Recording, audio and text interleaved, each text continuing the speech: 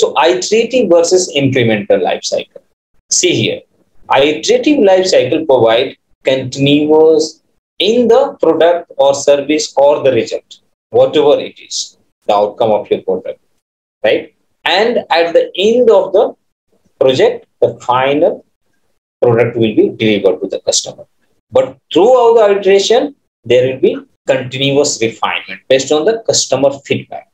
Now, in the incremental life cycle, it makes progress through a small increments. In other words, you can say it works on the principle of MV, minimal viable product. Can you give the main difference here?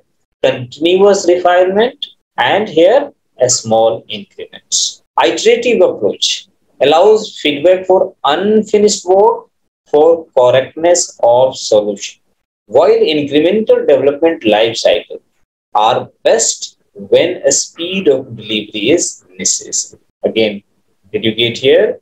Means it will allows the feedback, you will be getting feedback from the customer on unfinished work, right? And of course, the another difference for here incremental when you want to deliver means customer wants something urgently he wants deliverables at every at end of every iteration you can use the incremental development life cycles now you can see here i hope everyone have been seen this pictures very popular and this is mona lisa picture and i don't know why it is so expensive right? it's sold out in the millions, I think. I'm not sure. But it's, it's one of the expensive paintings in the world.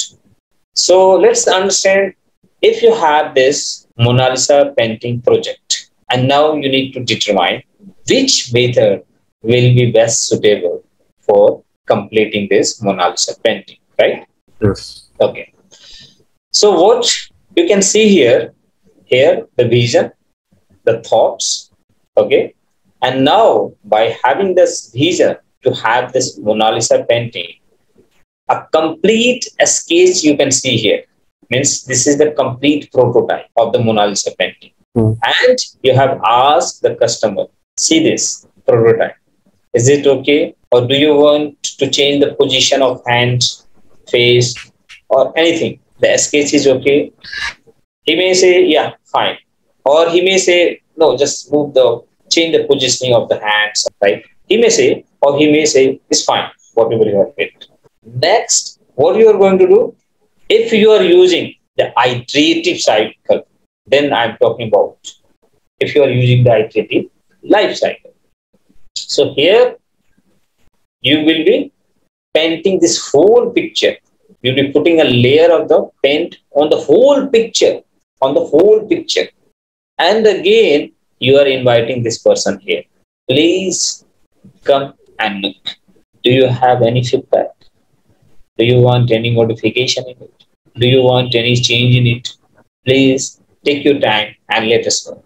So customer, of course, he is the person at in going to take over this picture, right? And you have to build according to him. So he will, whatever thing, he will give you the feedback whether it's okay or want to change something. And let's assume if you will say is fine, then you are moving here.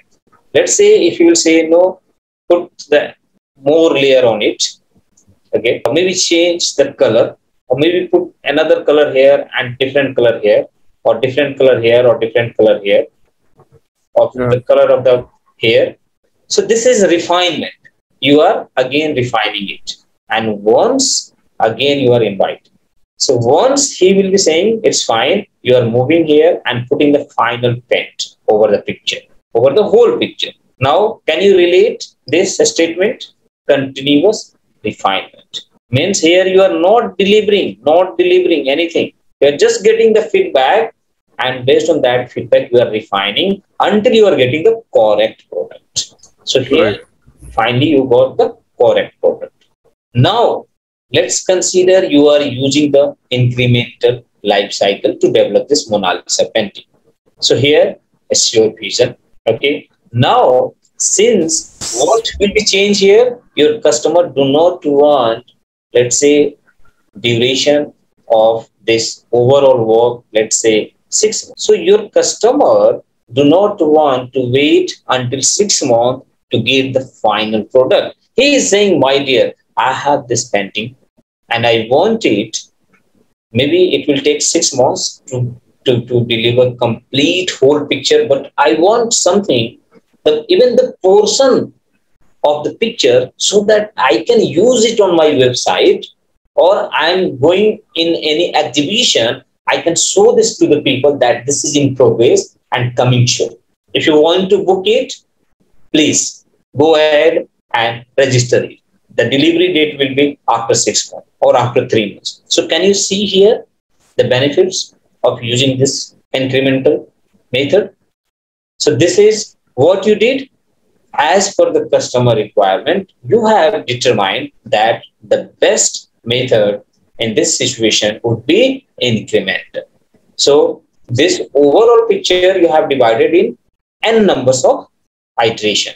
So you have selected, let's say here you have selected only face part and you have completed this overall face including a sketch to first layer, second layer, final layer, whatever.